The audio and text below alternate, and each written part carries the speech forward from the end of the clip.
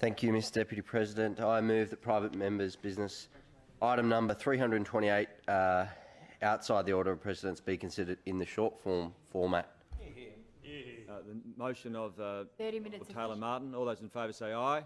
Against say no. The ayes have it. The ayes have it. Thank you, Mr Deputy President. I move private members' business item number 328 outside the order of precedence. Fishing is one of Australia's favourite recre- recreational activities with more than 5 million Australians casting a rod annually. Uh, each year, clubs all over the state participate in Gone Fishing Day with the aim of attracting new members to their club, but most importantly, encouraging new people to participate in recreational, recreational fishing.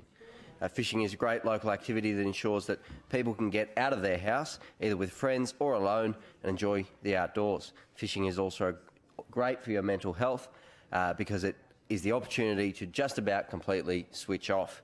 Importantly, because recreational fishing is such a popular activity across the entire state, uh, the economic benefits of recreational fishing are realised by regional communities up and down the coast uh, and, of course, in our inland waterways as well.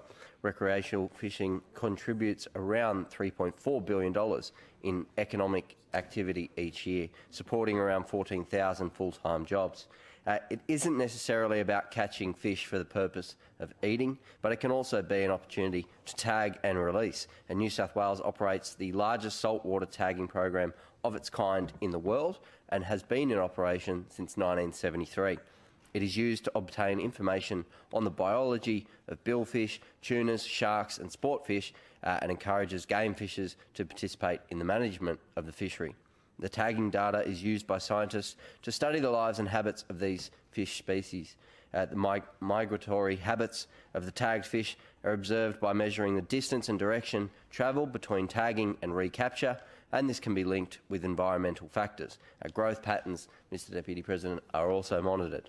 The 2019 Gone Fishing Day event was a huge success, with 48 fishing clubs across the state receiving fishing packages from the Department of Primary Industry uh, to run their own Gone Fishing Day events, uh, six major fishing events at Ballina, Moree, Lake Macquarie, Botany Bay, Huskisson and Mulwala, uh, and an estimated 20,000 people joined in.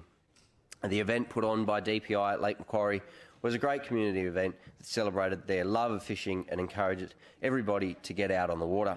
The event had free how to fish session, sessions, a casting comp, free bags with bonus fishing lures, uh, fishing tip classes by local experts, a touch tank, loads of kids' activities, and RMS had a stall promoting boating safety. Uh, one of the highlights, Mr Deputy President, was from Snappy, the crab, who made an appearance and handed out prizes to the children. Fabulous. Empire Bay Fishing Club held a Kids Gone Fishing Day with 71 local kids from 2 to 15 years of age participating with their parents. The fishing club was one of 48 successful clubs to receive a grant from DPI, which they put towards obtaining 36 fishing rods. The club then worked hard to get sponsors from local businesses so that all the kids could get a rod and a show bag filled with hooks, sinkers, hats, and magazines. The highlight was uh, the kids being taken out on the Brisbane water and learning how to fish on the open water. The funding for the events came from the New South Wales Recreation Fishing Trust. In 2019-20 alone, uh, $16 million is being invested back into recreational fishing across the state through grants from the New South Wales Recreational Fishing Trust. And I want to congratulate all the clubs that participated last year, and I look forward to seeing more clubs in the future join in the Gone Fishing Day program. In particular, all the members who participated in Gone Fishing Day events, whether that was uh, through their hard work on the barbecue, sharing their boats, or sharing their knowledge, uh, for no other reason than they love fishing and want to share it with more people in New South Wales. And they ensured the day was a huge success, and I commend the motion, Mr Deputy uh, President. Okay. Thank you, Mr President. Uh, it would seem that this motion has brought almost everybody down to the chamber with their fond memories of childhood fishing. And I'd like to thank the Honourable John Graham, the Honourable Emma Hurst, the Honourable Ben Franklin, the Honourable Sarah Mitchell, the Honourable Natalie Ward, the Honourable Wes Fang, the Honourable Scott Farlow, the Honourable Penny Sharp for her contribution, and Mr Justin Field and Cate Faehrmann for their contributions.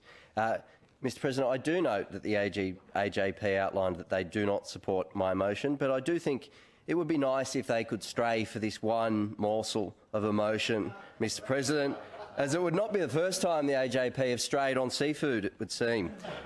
I'd also like to mention another excellent program to encourage young people to take up fishing.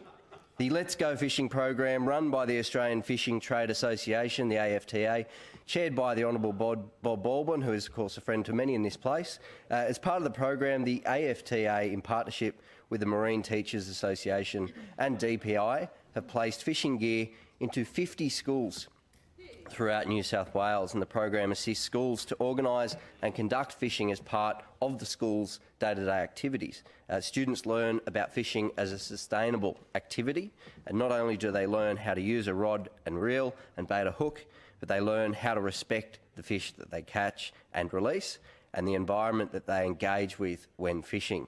Uh, of course, an issue that was outlined by many speakers here today. The schools participating include Kariong Mountains High, Kincumber High School, Lisarow High, St Peter's Tuggerah, St Phillips Port Stephens, Tuggerah Lakes, Berkeley Vale, and I'm sure the Honourable Ben Franklin will be happy to know that Ballina High School is also a participant. Thank you, Mr President. We can't see you. Honourable members, Stand up. Mr Martin has moved private members item number 328 outside the order of precedence at uh, Gone Fishing Day 2019. All in favour say aye. Against say no. I believe the ayes have it. The ayes have it.